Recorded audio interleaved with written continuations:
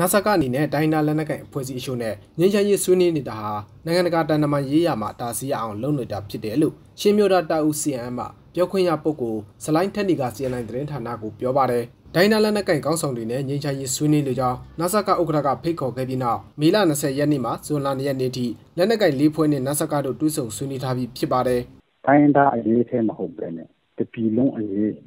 ဖက်ဒရယ်ဒီမိုကရေစီဆောက်ဖို့အတွက် ကျွန်တော်တို့ကဒီတိုက်ပွဲဝင်နေတာဖြစ်တဲ့အတွက်ဒီတစ်ခါဒီဆွေးနွေးကြတော့ကျွန်တော်တို့ရဲ့အတွေ့အကြုံအရကျွန်တော်တို့ကအယုံကြည်မရှိဘူးသူရဲ့ဖိတ်ခေါ်တဲ့ပုံစံကလည်းတစ်ခွချင်းတက်တာဒီဖိတ်တာဒီဆိုတာကအမှန်ဆိုရင်တော့ပါဝင်တဲ့ပါဝင်ထိုက်တဲ့အားလုံးဒီကိုပါဝင်ပြီးတော့ဖိတ်ခေါ်ရမှာဖြစ်တယ်အဲဒါကြောင့်သူဖိတ်ကြတဲ့ပုံစံကိုကျွန်တော်တို့ကတော့ အယုံကြည်မရှိဘူးသူတို့ရဲ့နိုင်ငံရေးထက်ပေါက်နိုင်ငံတကာမှာတိုင်းသားလေးနဲ့ကိုင်တွေကိုကျွန်တော်ဖိတ်နေပါတယ်ဆိုပြီးတော့နိုင်ငံတကာမှာနိုင်ငံရေးအလုပ်အပါရှိရအောင်လုပ်ရလုပ်ရချစ်တယ်လက်ရှိငင်းချရေးဆွေးနွေးပွဲမှာတက်တဲ့လက်နက်ကိုင်အဖွဲ့အစည်းတွေဟာမိမိတို့ရဲ့တိုင်းဒေသအရေးကိုအလုပ်ဟုတ်တယ်လို့ကောတချို့လက်နက်ကိုင်အဖွဲ့အစည်းတွေမှာငင်းချရေးကိုမတီးချင်အောင်ဆောင်နေကြနာဆာကရဲ့သတင်းထုတ်ပြန်ရေးအဖွဲ့ကောင်းဆောင်ဗိုလ်ချုပ်စော်မင်းထုံကဂျွန်လာတရက်မှာပြောကြားခဲ့ပါတယ်အဲသို့တော့ပြည်တွင်းမှာ အဓိကတွေ့ရတဲ့တွေ့ရတဲ့အခက်အခဲပေါ့အဓိကတွေ့ရတဲ့အခက်အခဲကတော့ဟိုပေါ့နော်ဓာတ်ရိုက်ပါဝင်ပတ်သက်သူတွေကိုယ်တိုင်တချို့ကဓာတ်ရိုက်ပါဝင်ပတ်သက်သူတွေကိုယ်တိုင်နံပါတ်1ကတော့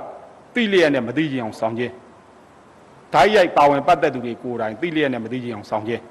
နံပါတ်2အချက်ကတော့ဓာတ်ရိုက်ပါဝင်ပတ်သက်သူတွေကိုယ်တိုင်မသိကြအောင်ဆောင်တာမဟုတ်ဘူးမကြားကြအောင်ဆောင်တာပဲ မသိကြအောင်ဆောင်ခြင်းနဲ့မကြားကြအောင်ဆောင်ခြင်းကအဓိကအခက်အခဲပါပဲ NCA စာချုပ်ဖြစ်ဖို့လာဖို့ဆိုလို့ရှိရင်ဘယ်မှာအစီကံနဲ့ဆိုလိုင်းစာမှာအခြေခံခဲ့တယ် KIA မှာအခြေခံခဲ့တယ် NCA စာချုပ်ကိုထပ်ပြီးမြင့်တင်တာတို့ NCA စာချုပ်အကြည့်ပြုရတာဘယ်မှာတော့လော်ခီလာမှာ KNU ကခုငင်းညာရေးဆွေးနွေးတဲ့အခါမှာ KNU KNA ပါလာကျွန်တော်တို့ဆွေးနွေးနေတာသူတို့ဆွဲခဲ့တဲ့ဟာတိုင်းကျွန်တော်တို့ဆွေးနွေးနေရတယ်ပါလာအဲ့ဒါကိုမသိကြအောင်ဆောင်ခြင်းလို့ခေါ်တယ် လက်ရှိနာဆာကဟာ2008မှာမပါတဲ့အရှိုးကျကိုစားပြုစနစ် PR ဖြင့်ရွေးကောက်ပွဲကျင်းပရန်ပြင်ဆင်နေကြောင်း၎င်းတို့ဖိတ်ကြားတဲ့ငင်းချရေးဆွေးနွေးပွဲကိုမတိချင်အောင်ဆောင်ခြင်းမဟုတ်ကြောင်းစလိုင်းထန်တွေကပြောပါတယ်ပြပြပြောရရင်တော့သူ့ရဲ့နိုင်ငံတကာနိုင်ငံရေးထွက်ပေါက်အတွက်အဲ့ဒီလိုလုပ်နေတယ်အဲ့ဒီထွက်ပေါက်ဆိုတာပါလေဆိုရှင်းနေနောက်ပြီး August မှာဒီကဟိုရေကောက်ပွေးလုပ်နေတော့အဲ့ဒီရေကောက်ပွေးလုပ်ဖို့အဲ့ဒီရေကောက်ပွေးတော့ မှာထောင်ရှိခွစီပုံမှာမရှိတဲ့ဖိအားပုံစံနဲ့သူကလုပ်နေလို့ကျွန်တော်တို့သိရတယ်ဆိုတော့သူကအစိုက်တယ်လို့ပုံနေတယ်ထောက်နေတယ်အဲ့လိုလုပ်လုပ်လိုက်ဖို့တိုင်းတိုင်းကိုနိုင်ငံရေးဆွေးနွေးပွဲနဲ့ချင်းကပ်ပြီးတော့တိုင်းသားဒေသတွေတည်ငြိမ်အောင်လုပ်မယ်အဲဒီမှာ PDF တွေကိုချုပ်မယ်ပြီးတော့လူကောက်ပွဲလုပ်မယ်